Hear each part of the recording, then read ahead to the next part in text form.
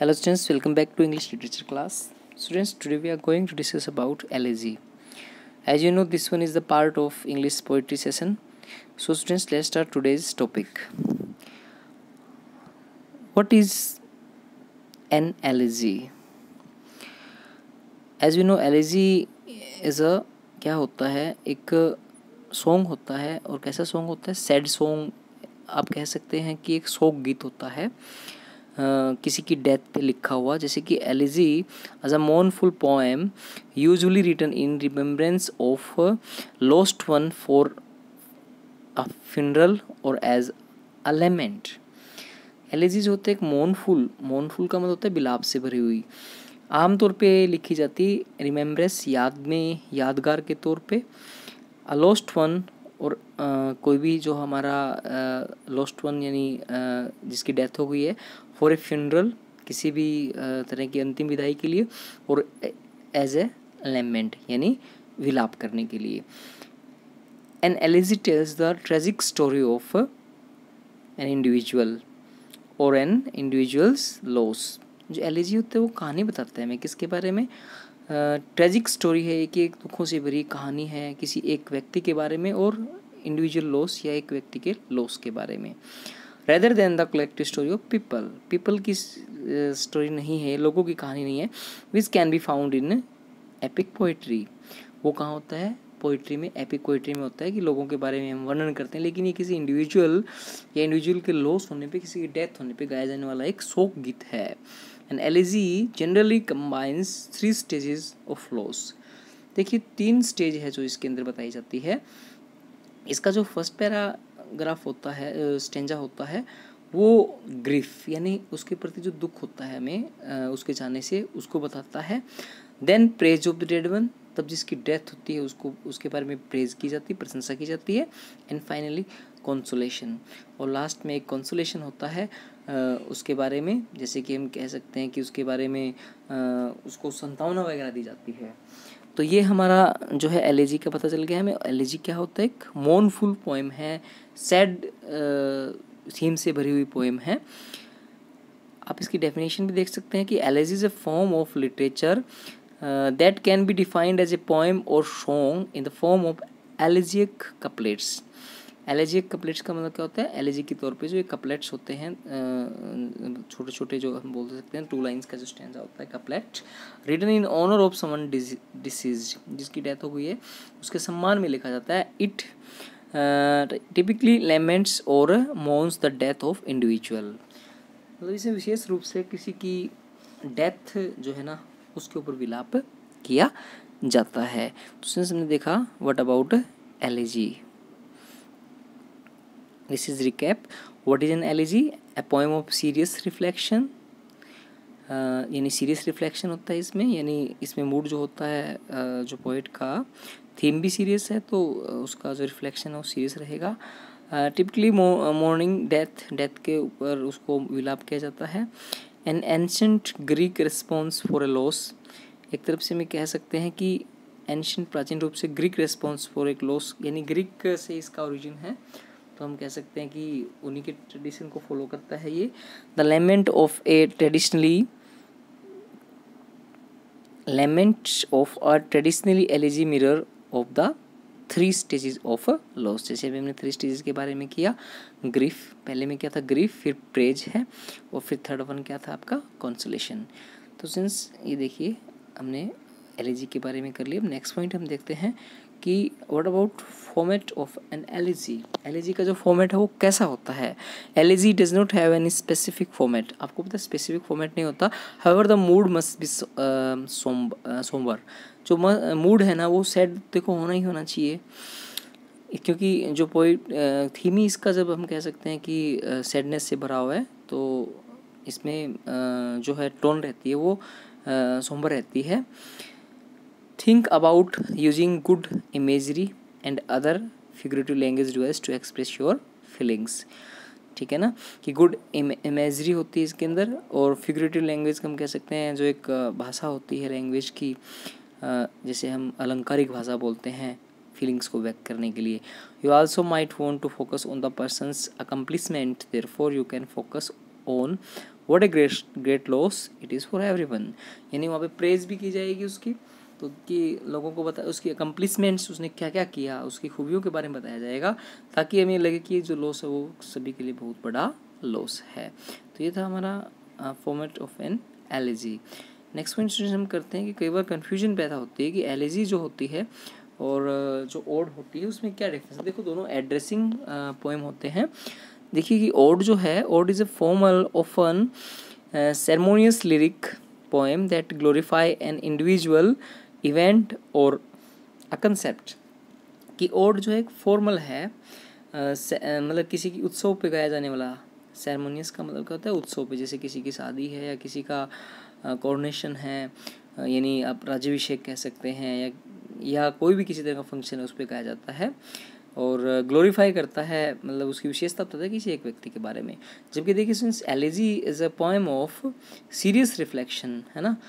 Characteristically a lament for the dead dead के लिए है ये केवल इसमें डेड को ही एड्रेस किया जाएगा, जबकि इसमें किसी भी इंडिविजुअल को प्रेज किया जा सकता है।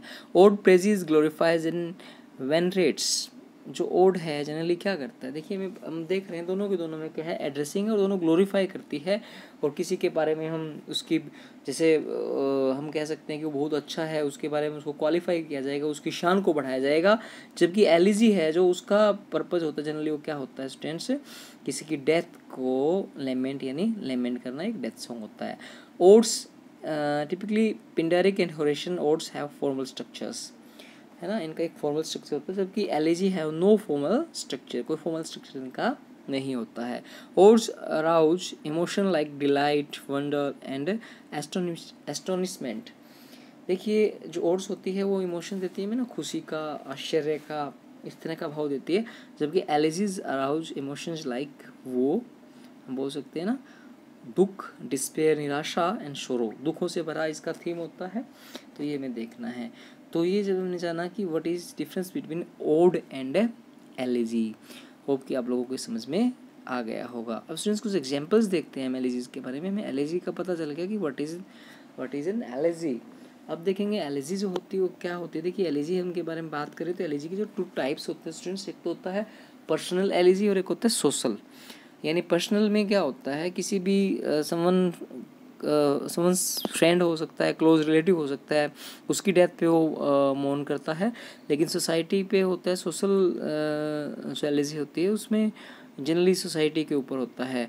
और इसमें एक चीज़ हम देखना पर्सनल एलिजी जो है उस, और एक इसका पार्ट होता है पेस्ट्रोल एलिजी जो हम देख रहे हैं, अभी एक बार हम पहले हम देख लेते हैं कि पर्सनल एलिजी जो है और पेस्ट्रोल एलर्जी में क्या डिफरेंस है? पेस्ट्रोल एलर्जी जो होती है स्टूडेंट्स वो उसका जो थीम होता है वो होता है रूरल एरिया से जुड़ा हुआ यानी खेत खलिहान। जैसे कि पेस्ट्रोल का मतलब क्या होता है? खेत खलिहान।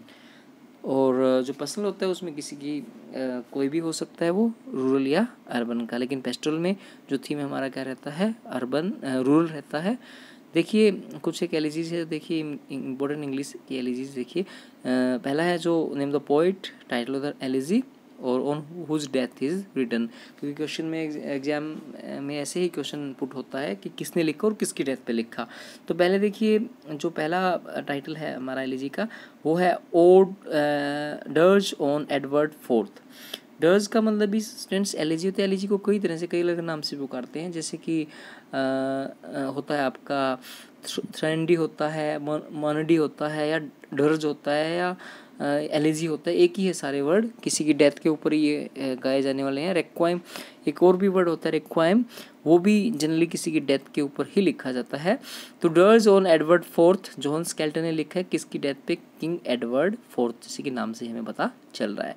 ओक्लेव ने लिखा है द, रेजिमेंट ऑफ़ प्रिंसेस। ये कई बार एग्ज़ाम्स में आ चुका है। रेजिमेंट रेजिमेंट ऑफ़ प्रिंसेस नाम का जो एलिजी किसने लिखा है? ओक्लेव ने।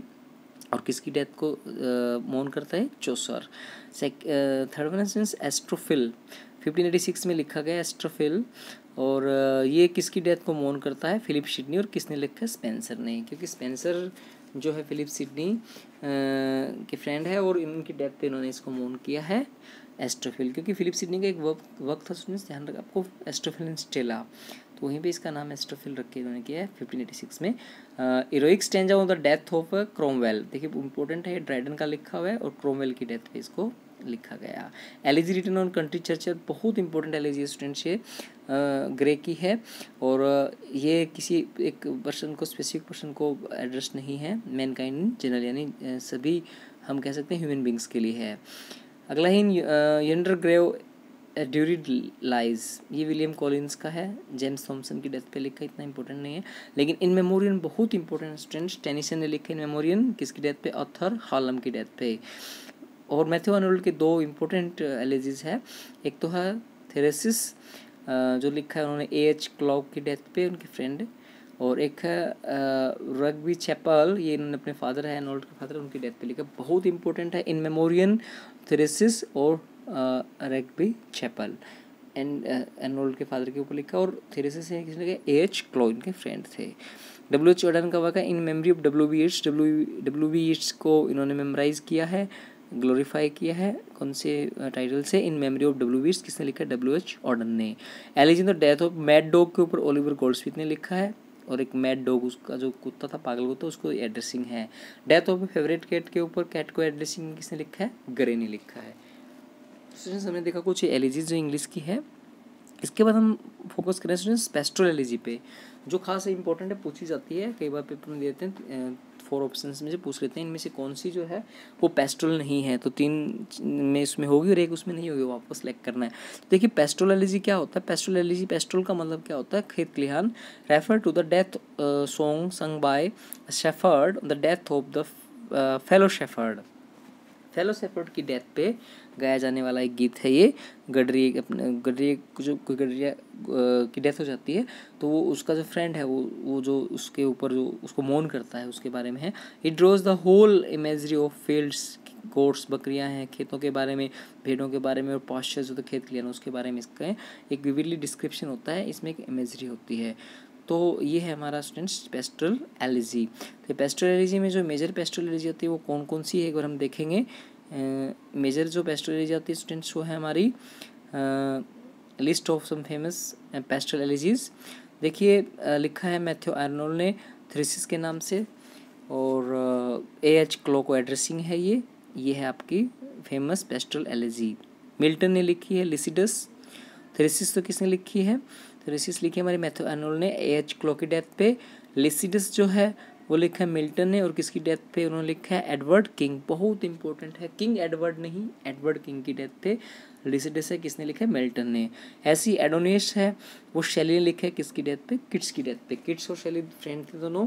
जब किड्स की डेथ हो गई थी तो उसके ऊपर शैली ने एक लिखा बहुत ही ब्यूटीफुल हम कह सकते हैं, जैसे क्योंकि एलिजी है ब्यूटीफुल तो नहीं कह सकते, लेकिन एक, इसमें जो कम्युनिकेशन रहा था एल के अंदर, वो बहुत ही ब्यूटीफुल तरीके से प्रेजेंट किया गया था।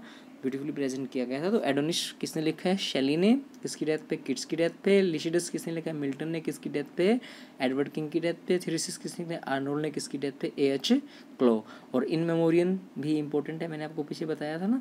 In Memoriam is the most important elegy in mem किसने लिखी थी ये? टेनिशन ने किसकी डेथ पे? ऑथर हॉलम तो ये थ्री पेस्ट्रोल और ये आपकी chapel In Memoriam in memory of W Yeats और heroic stanzas death of Cromwell ये और रेजिमेंट ऑफ़ प्रिंस और Astrophel these are the famous elegies in English so students please learn them all पहट uh, that's all for the day. Back in next video. Thanks for watching.